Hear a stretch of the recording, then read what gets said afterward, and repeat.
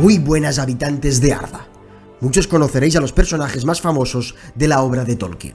Héroes como Aragorn, Elrond, Gandalf, Frodo o Galadriel, que por sus acciones llenas de valor se imponen a la oscuridad del mundo. Pero su mitología es mucho más profunda. Hoy os traigo un vídeo en el que conoceremos a los seres primordiales de la creación, los espíritus divinos que participan en la formación del mundo, como lo conocemos en su plano físico el panteón de los dioses de J.R.R. Tolkien.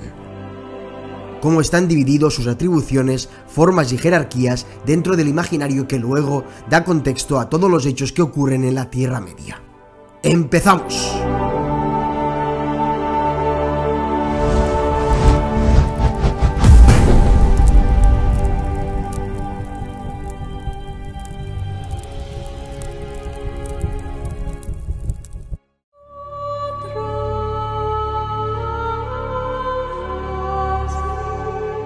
El principio estaba Eru, el único, que en Arda es llamado Ilúvatar, y primero hizo a los Ainur, los sagrados, que eran vástagos de su pensamiento, y estuvieron con él antes que se hicieran algunas otras cosas.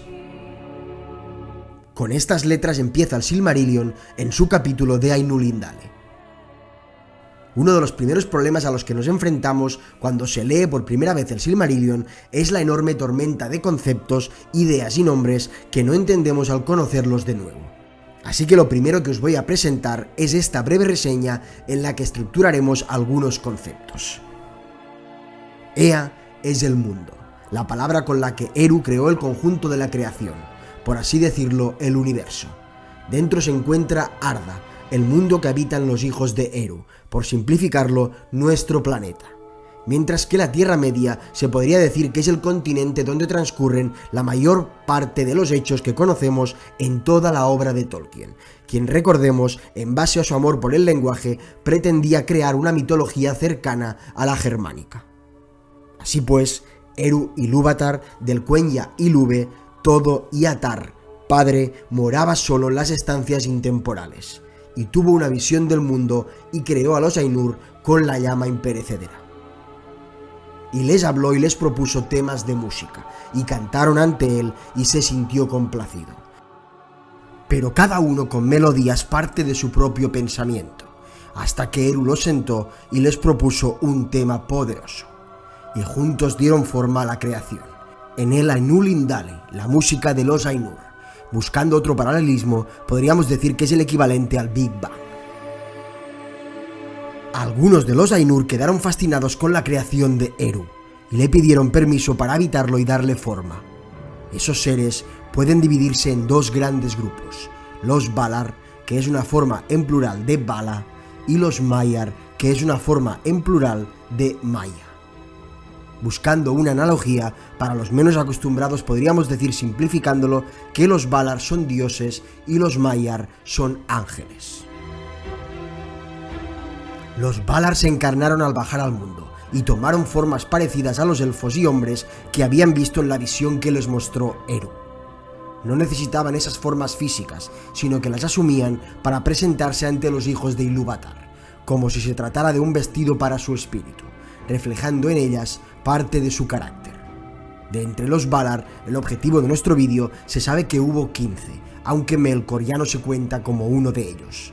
Así pues, los podemos dividir en dos grupos de 7 para un total de 14. Valar es un término en cueña que comprende tanto a los masculinos como los femeninos, los Vala y las Valie. Y Eru creó el mundo y le entregó a ellos su gobierno.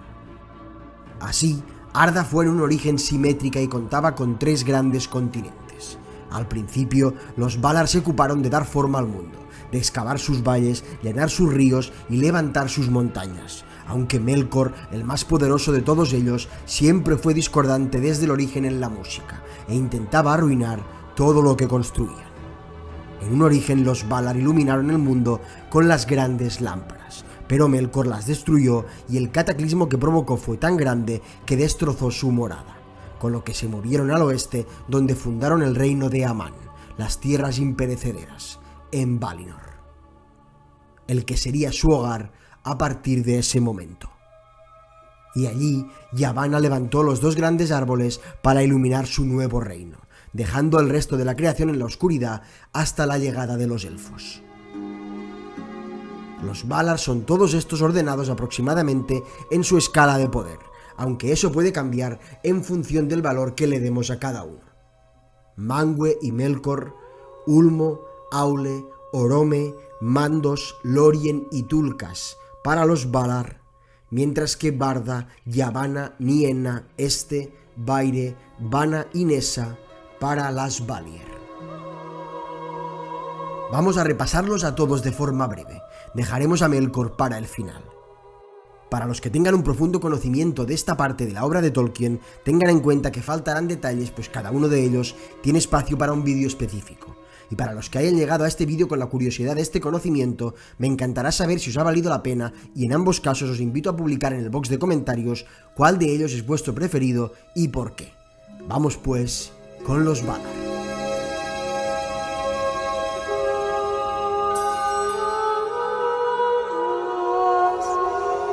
Mangue Sulimo, señor del aliento de Arda, tras su hermano Melkor y en algunos casos de parecido poder, pero de temperamento opuesto. El más grande en autoridad, pero no el más poderoso. El más cercano en pensamiento a Eru, el que mejor entiende todos sus propósitos. Señor de los pájaros y los vientos. Las águilas del mundo son sus mensajeras y le informan de todo lo que sucede en él. Puede verlo todo desde las alturas hasta los abismos, desde los confines superiores del velo de Arda hasta las brisas que soplan en la hierba. Tuvo bajo su consejo a muchos Maiar, espíritus por debajo en poder. El más conocido y poderoso fue Eonwe, el heraldo de Mangue, quien lideró los ejércitos en la Guerra de la Cólera que terminaría con el dominio de Morgoth. Su pareja es Barda, la Dama de las Estrellas, la sublime, la ensalzada. Su nombre en Sindarin es Elbereth reina de las estrellas. Es la más venerada de entre los elfos, pues ella fue quien hizo las estrellas que contemplaron en su primer despertar. Su poder reside en la luz, y la luz de Ilúvatar reside aún en su rostro. Incluso antes de la música de los Ainur rechazó a Melkor, pues reconoció en él la oscuridad, y por eso Melkor la odió y la temió más que a cualquier otro Valar. Es la creadora del sol y la luna, del último fruto y la última flor de los árboles de Valinor. Reside junto a Mangu en Taniquetil, la montaña blanca, en las tierras del sol y las puertas del amanecer. Luego está Ulmo, el rey del mar, el señor de las aguas, uno de los mayores aliados de los pueblos de la Tierra Media, a los que nunca dejó de ayudar. Tuvo una gran amistad con Mangue y fue el que mejor cantó durante la gran música de la creación. No le gusta tomar moradas ni formas físicas y vive en el mar en su forma original. Ulmo no tiene pareja y raramente asiste a los consejos del resto de Valar, a no ser que se discutan grandes asuntos. Pocas veces se muestra ante los hijos de Ilúvatar, pero es temido y venerado por todos. Fue Ulmo quien habló a Turgon entre sueños y lo empujó a fundar Gondolin también fue él quien salvó a Elwing para devolver el Silmaril a Earendil y así pudieran llegar a Valinor para pedir ayuda al resto de Valar. Y fue Ulmo quien los defendió de la ira de Mandos. A continuación tenemos a Aule, el herrero de los Valar. Su poder viene de la materia que está hecha el mundo, señor de la tierra y la minería, de los primeros Ainur en bajar Arda y moldear el mundo, y trabajó mucho junto a Mangue y Ulmo. Maestro en todos los oficios, su deleite está en los trabajos que requieren habilidad, aun los más pequeños. Suyas son las gemas que yacen profundas en la tierra y el oro que luce en la mano y también los muros de las montañas y las cuencas del mar. El bala más similar en pensamiento y poder a Melkor. Ambos crearon seres por su propia cuenta, pero Aule siempre permaneció fiel a la esencia de la música de los Ainur y sometió todo lo que hizo a la voluntad de Eru. Él creó a los siete padres de los enanos, cuando el mundo era joven, antes de la llegada de los elfos, buscando a alguien a quien instruir y enseñar todas sus artes. Y ellos siempre lo llamaron Mahal, el Hacedor. Pero como era incapaz de otorgar vida, estos permanecían inmóviles sin albedrío propio. Fue así que Eru Ilúvatar se enojó y le hizo comprender que no era su cometido. Entonces Aule se arrepintió y se dispuso a romper su creación.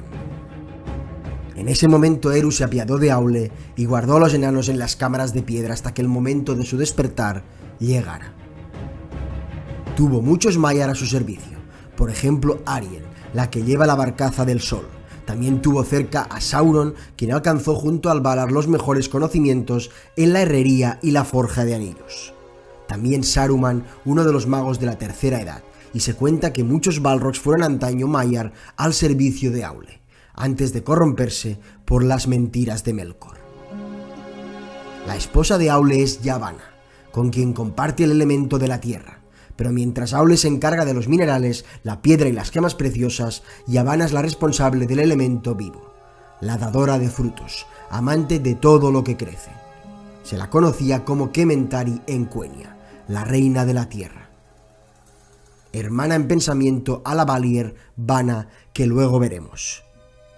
Es la creadora de los árboles de Valinor, también de los animales, las plantas e incluso los Ents, con la aprobación de Eru.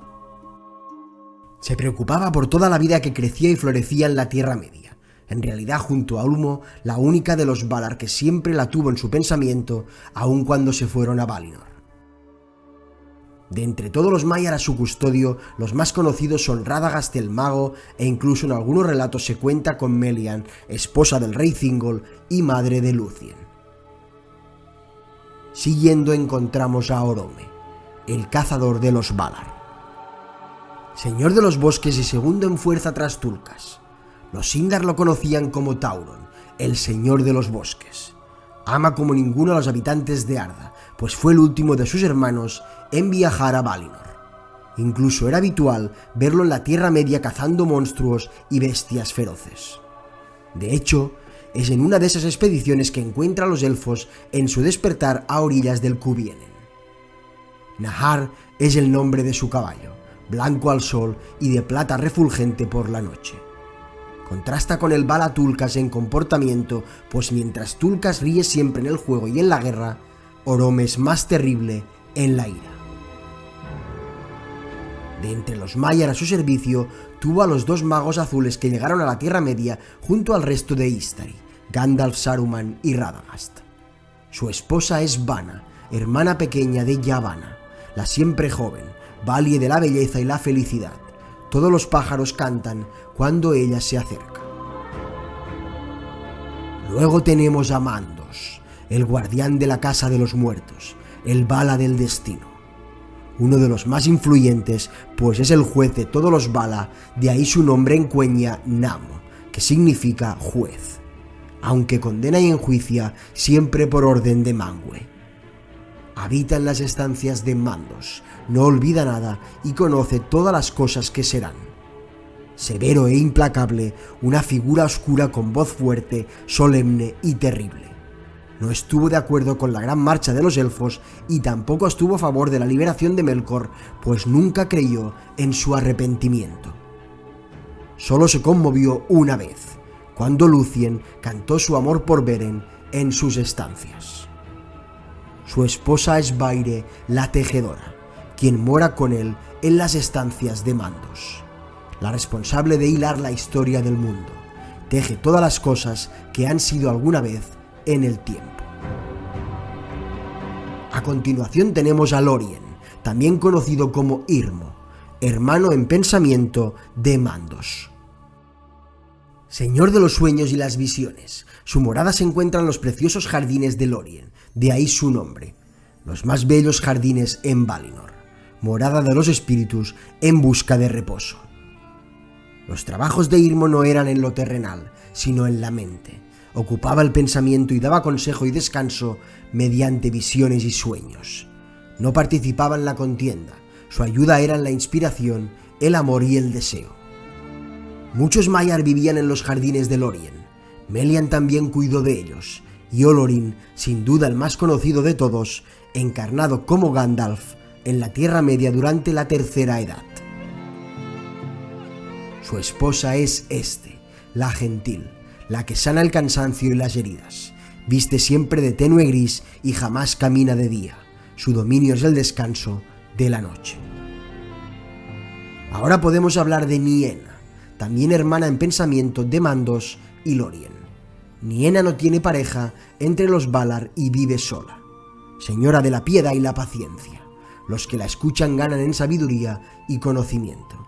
Está familiarizada con el dolor y llora todas las heridas que ha sufrido Arda por culpa de Melkor. Tan grande es su pena que su canto se convirtió en lamento antes del fin de la música de los Ainur.